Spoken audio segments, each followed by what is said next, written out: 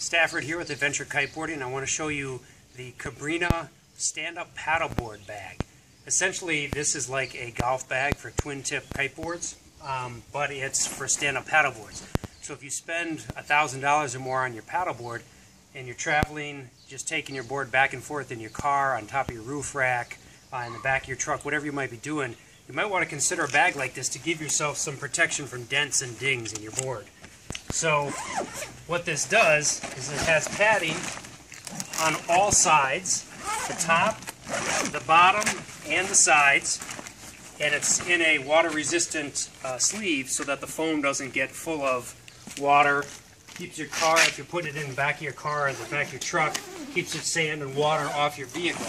It opens completely up, has extra cinch straps to keep things from moving around.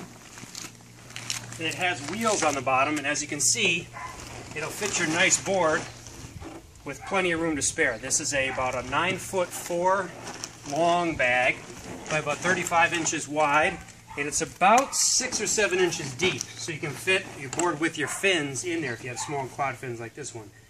Wheels on the bottom, so you can roll it, as well as the handle down here. Now these bags are supposed to retail for about $350.